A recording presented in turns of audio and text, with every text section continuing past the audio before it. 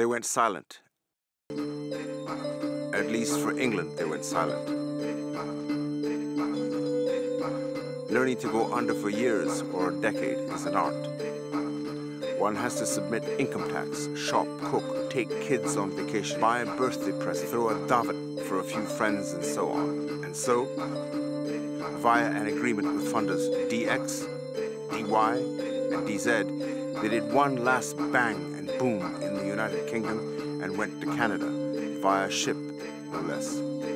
Look out, Canadians. They settled in cities, hopping from one to another.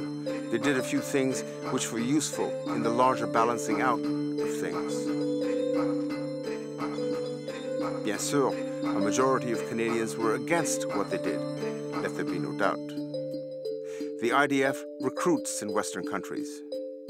Some Canadians joined them, but given the task at hand, only a minority.